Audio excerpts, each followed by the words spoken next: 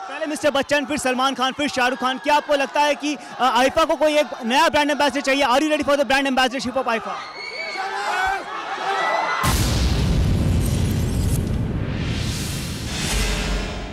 पिछले साल जिस सवाल का जवाब टाल गए थे शाहरुख खान आईफा अवार्ड्स की शान बनने का वही सवाल एक बार फिर खड़ा हो गया है।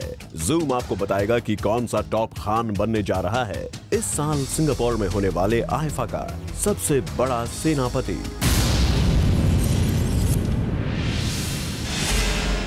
दो साल पहले बिग बी के आईफा को बाय बाय कहने के बाद कौन सा बॉलीवुड स्टार अमिताभ बच्चन की वॉइड को फिल करने का दम दिखाएगा? Salman Khan, me coming to Sri Lanka very soon. 2010 में आईफा में अपना जलवा दिखाने वाले सलमान खान या फिर 2011 में आईफा पर छाने वाले किंग खान।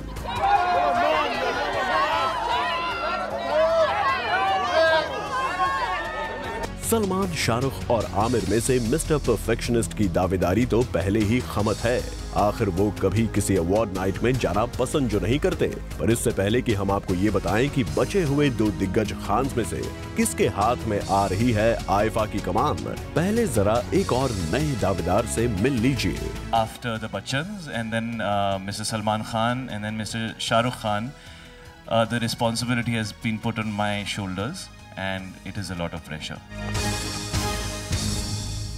वो शाहिद कपूर ही हैं जो बिग बी, सलमान खान और शाहरुख खान के बाद आईफा की सारी ज़िम्मेदारी अपने कंधों पर उठाने का दावा कर रहे हैं।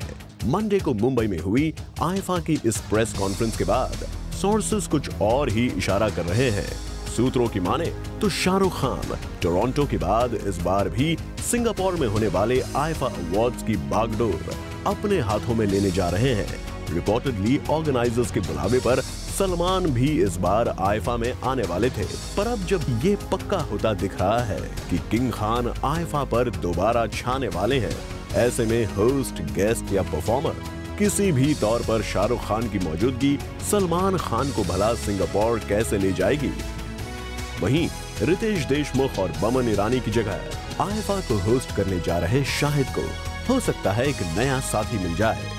आई थिंक uh, जो भी मिले मैं उनके साथ होस्ट करने को तैयार हूँ ऐसी कोई परेशानी नहीं है। पर अगर वो होस्ट शाहरुख खान हुए तो लाइक यू सेड शाहरुख भाई is an absolutely fantastic host अरे आप तो पलट गए शाहिद शाहरुख के होने से कुछ तो परेशानी ज़रूर होती होगी आपको And I honestly feel that it's possible to make people laugh and entertain them without taking digs at anybody in particular. That's the one thing that I don't like about hosting. I think that sometimes uh, people get very personal. हम्म तो शाहिद को personal level पर जाना बिल्कुल भी पसंद नहीं है फिर तो अब हम आपको जो दिखाने जा रहे हैं वो भी साशा को जरा भी पसंद नहीं आने वाला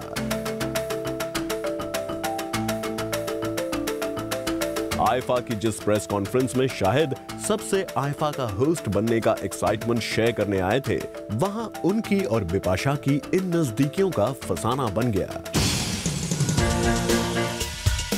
पिछले दिनों रहे दोनों के लिंकअप के चर्चे, एक बार फिर इन तस्वीरों की जबानी अपनी कहानी खोजने निकल पड़ी। ये इसलिए भी हुआ हो सकता है कि साशा की आईफा का होस्ट बनने की खुशी बिपाशा की मौजूदगी में कुछ ज़्यादा ही बढ़ गई हो, और शायद उन्हें भी ये पता ना रहा हो कि जल्द ही शाहरुख आयफा को ज्वाइन कर उन्हें मिल रहा लाइमलाइट छीनने वाले हैं। रुद्रानी चटोराज जूम मुंबई